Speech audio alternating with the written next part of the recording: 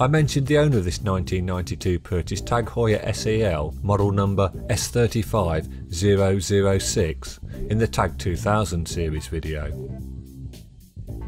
very good friend Dave, or God as we called him, bought a 1000 series in 1990. We called Dave God mostly to annoy his wife, who would say, He's not God, no matter what you idiots claim. Of course, these denials amused us idiots, causing us to address him as God whenever in her presence. You lot are pathetic. Despite my eulogising Glasgow to Dave at every opportunity, he's only ventured there once when he became lost and ended up at Ibrox Stadium. The King informs me There are a lot of lost people at Ibrox Stadium.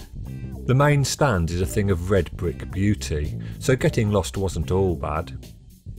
If he had visited Glasgow in 1992 wearing his newly purchased SEL though, he would have encountered In 1992, on the basis that if something's working, you should tear it up and start again, obviously, Glasgow dropped its Mr. Happy, Glasgow's Miles Better slogan that had been credited with helping turn around the city's image. The problem was Mr. Happy had been promoted by a previous regime at the council. The new leader, Pat Lally, known by everyone as Lazarus in recognition of his many comebacks, was behind a new slogan Glasgow's alive. Not many months, and a few hundred thousand pounds later, Glasgow's alive was, well, dead. The city brought back Mr. Happy, and since then, it's been laughing all the way. That last bit isn't technically true. The SEL was in the Tag Heuer range from 1987 to 1999. SEL deriving from the term sports elegance. The lines or curves flowed from the pen of Eddie Schopfer, who also drew the 2000 series.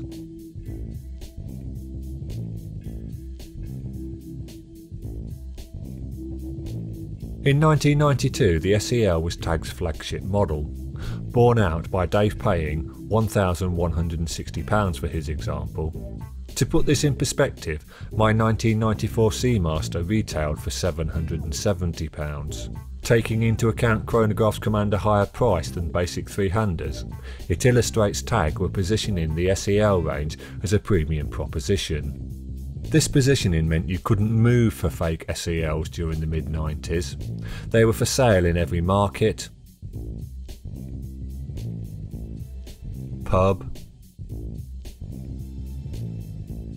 beach. They even came in cereal boxes. Maybe. And all of them were awful.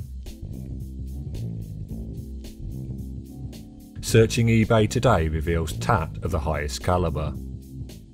The giveaway of a fake is the bracelet, with replicas exhibiting one solid ingot for each link, whereas a genuine link comprises of two parts. Dave told me it was a bracelet which first caught his eye, it possessing a supple sculptural fluidity, almost waterfall-esque, allowing it to mould to the wrist.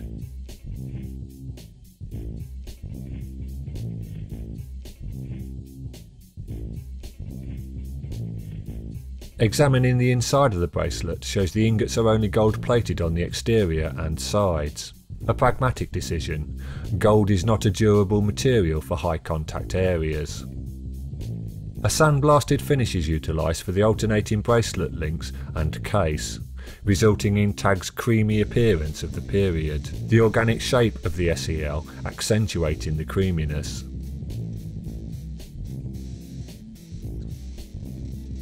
The moving elements of the case bezel, pushers, and crown are gold plated. Dimensions wise, I measure a diameter of 40.4 millimeters, lug to lug 44 millimeters, lug width, hmm, we'll give that one a miss. Depth 11.6 millimeters, and it weighs 122 grams. Dial wise, the crisp, white, almost snow like finish maintains its factory condition. Quite a feat, considering Dave wore this watch regularly for the 10 years after its purchase, illustrating his godlike abilities. He's not God.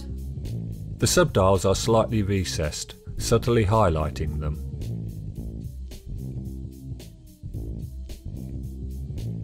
A more pronounced depression hosts the date window.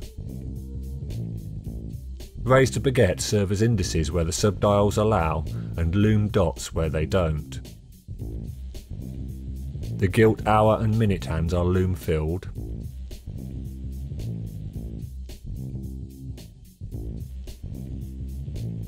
Subdial hands and second counter black.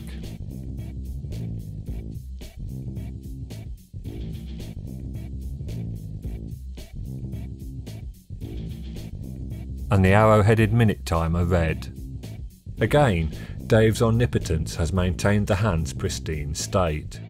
I won't tell you again, idiot. A white tachymeter completes the dial, and all of this sits under a flat sapphire crystal. Beneath the dial resides an ETA 251.262 movement, which Calibre Corner states was introduced in 1988, but is now discontinued. Does Dave still wear this watch? Yes. Not regularly, but he enjoys wearing it when he does. Have I mentioned he's God? Right, I'm sick of your nonsense. Ouch!